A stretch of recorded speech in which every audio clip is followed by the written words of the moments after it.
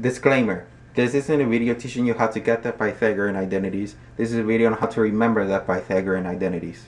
This is not the only shortcut. This is the way we remember the formulas. If you're not in calculus, viewer discretion is advised. Sort of. yeah. This is a way to remember the Pythagorean identities. I think this shortcut is might be well known or known by others, but I have not been aware of this shortcut up until now, so I wanted to share.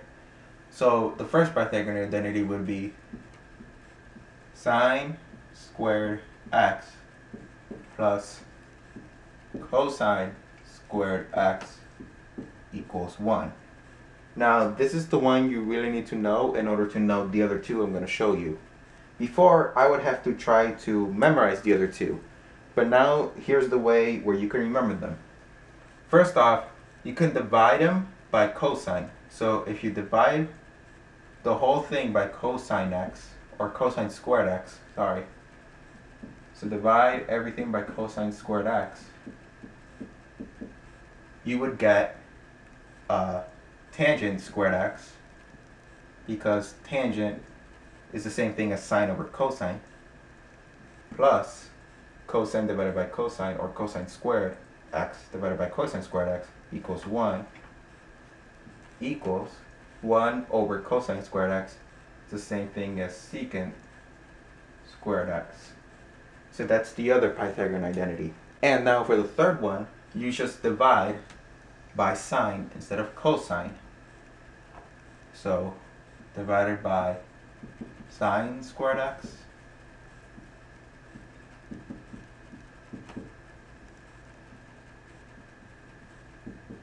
you would get, for this one, you would get 1 plus cotangent is the same thing as cosine over sine, so you get cotangent squared x equals, and 1 over sine is the same thing as cosecant.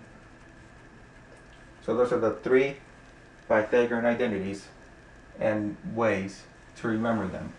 Now you can also just depending on the problem, you might uh, have to move things around, like make sine squared x equal 1 minus cosine squared x, or anything of the sort for all three.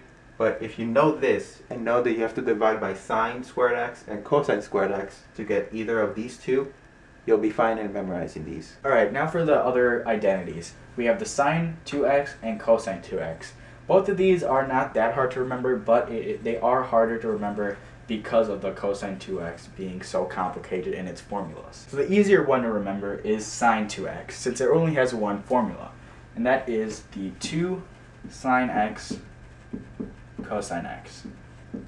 This formula does not change and it'll always be similar. It will always be the same no matter what you do with it. And the easiest way to remember it is the 2 moves on moves outside and you add a cosine x to the formula.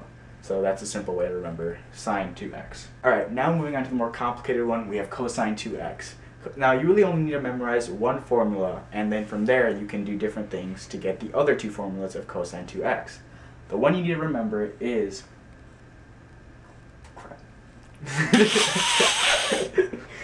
this is the This is the easiest way to remember it. Alright, so now to get the other formulas, start off if you start off with replacing cosine squared x, you take the original function or the original identity up here, you just make cosine squared x by itself, and you'll get 1 minus sine squared x. If you take 1 minus sine squared x, replace the cosine squared x here, you'll get 1 minus 2 sine squared x.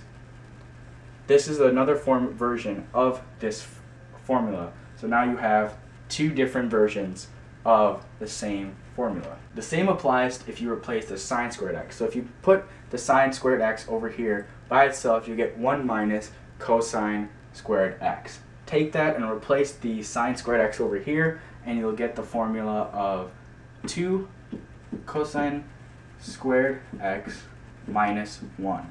And that is the third formula for cosine 2x.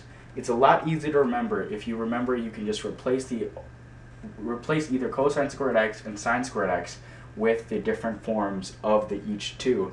You can get each formula easier that way instead of remembering each of these as separate formulas. So to recap, you really only need to know this formula, this formula or identity, and this identity. If you know these three and know how to get these two from this one and know how to get these two from this one, and you just have to know this one, you'll be able to uh, keep remembering the identities without having to memorize each of them separately. So that is it for this video. Thanks for watching. See you in the next one.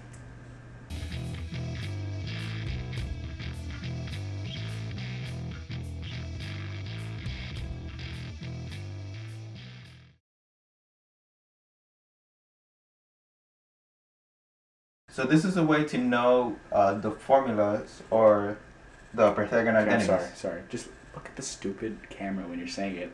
You're like, All right, fine, fine, you're fine. looking at this, like you're this close. Hi. yeah, that's what it feels like you do it.